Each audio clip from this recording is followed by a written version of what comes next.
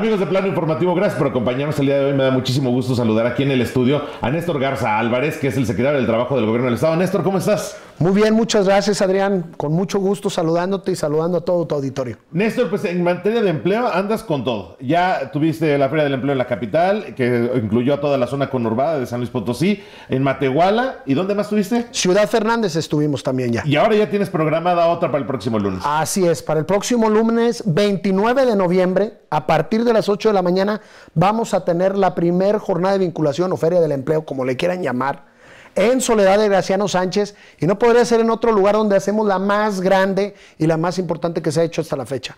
Vamos a ofertar más de 3 mil vacantes. Más de 3 mil vacantes. Así es, en una época en la que históricamente no se contrataba. Híjole, Néstor, y después de, de, esta situación que venimos todavía cargando, que es la pandemia, donde hubo muchísimo desempleo, donde hubo muchísimos despidos, y qué mejor que, pues, bueno, esta oportunidad que tienen muchísimas personas de obtener algún empleo. Así es, en coordinación con la presidenta municipal, la, la contadora Leonor Noyola, en Soledad de Graciano Sánchez, hemos empezado a trabajar y a coordinar ya esta feria, esta jornada de vinculación donde va a haber más de 100 empresas, donde van a ofertarse más de 3 mil vacantes. Va a ser en la plaza principal de Soledad de Graciano Sánchez. Y pues bueno, estamos muy contentos porque estamos haciendo una feria en una época que históricamente no se contrataba. Claro. Lo estamos haciendo en el mejor lugar que lo podemos hacer, que es donde está la mejor mano de obra de todo San Luis Potosí. O si no la mejor, sí la que más gente tiene dispuesta a trabajar. Además de eso, como tú lo dices, en esta época ya era época donde no se contrataba a nadie, ya era como que estaba calmado para finalizar el año y aquí precisamente va a ser una contratación. Así es, las empresas,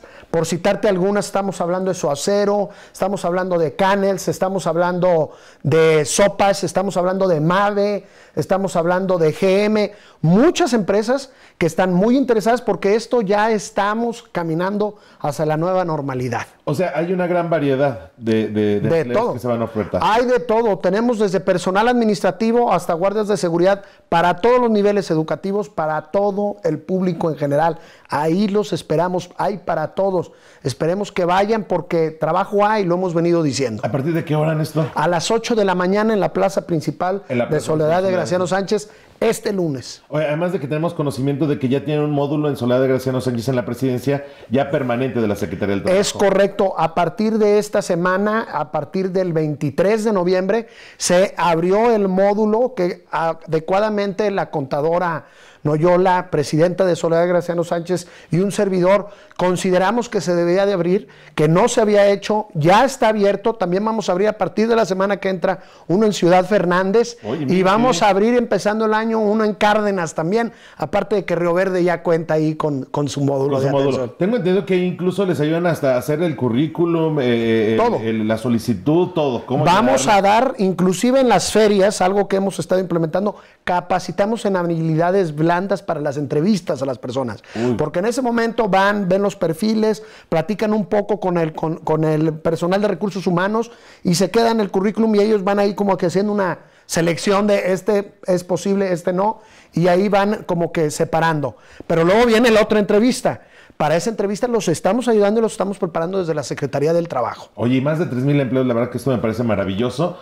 Eh, ¿Va a haber igual que en otras ocasiones eh, posibilidades de transporte hacia la zona de Soledad? Sí, mira, se está trabajando eso en conjunto con el Ayuntamiento de Soledad de Graciano Sánchez. Como ellos son los que albergan este evento, esta convocatoria la estamos haciendo en conjunto y tengo entendido que sí han estado ya trabajando en esa parte. Ahorita no te puedo decir las rutas, Pero, pero, en las redes sociales hay que mantenernos atentos. Así es. Seguramente van a tener ahí también toda la información al respecto de esta Feria del Empleo. Y pues bueno, ya estén pendientes porque seguramente usted puede ser alguno de los que pueda obtener alguno de estos empleos ahí en Soledad de Graciano. Exactamente, estén pendientes en redes sociales. Nos hemos comprometido a recuperar los empleos perdidos. Ya lo dijo nuestro gobernador, estuvimos en la reunión del Consejo de Planeación para el Plan de Desarrollo del Estado hace unos momentos y dijo, estamos trabajando para recuperar las 14 mil fuentes de, empleo que se perdieron.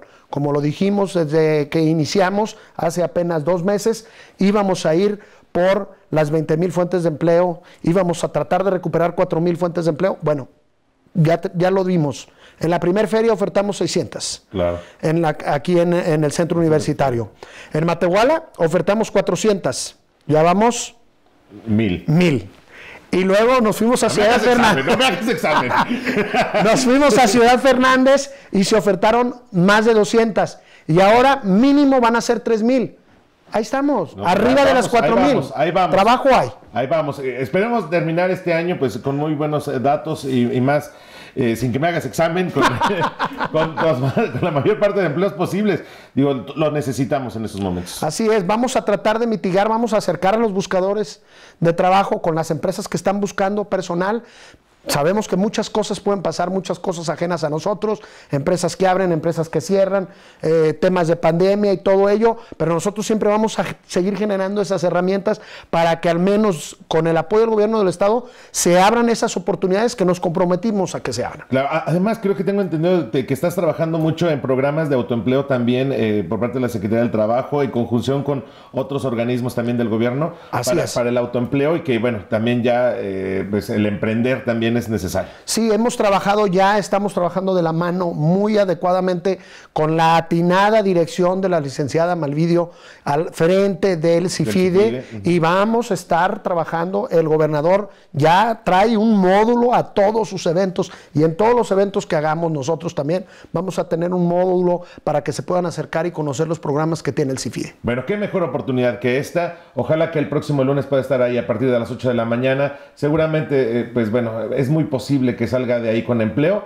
Y si cualquier cosa, si no se le acerca aquí al señor. Por supuesto, ahí los esperamos y no. En la Secretaría estamos de puertas abiertas para ayudarle a todas las personas que buscan un empleo a conseguirlo. Es nuestro compromiso. Néstor, te agradezco muchísimo. Gracias a ti. Adrián, y gracias a todo tu auditorio. Por lo pronto, quédese en las redes sociales de Plano Informativo y no olvide consultar nuestro periódico impreso.